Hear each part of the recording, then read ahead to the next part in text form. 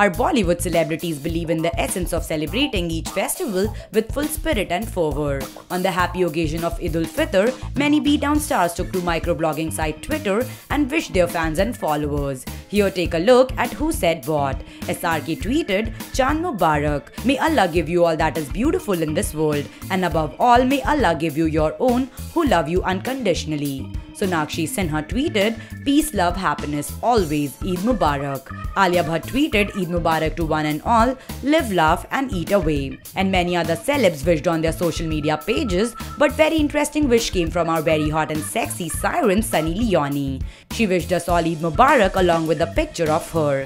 In this picture, Sunny is seen all decked up like Anarkali and she makes quite a pretty frame. The very beautiful Sunny is seen wearing a colorful Anarkali here along with a qawwali cap she's looking quite a sight we have to say. Check Sunny Leone wishing all Eid right here and you too wish her in the comments below.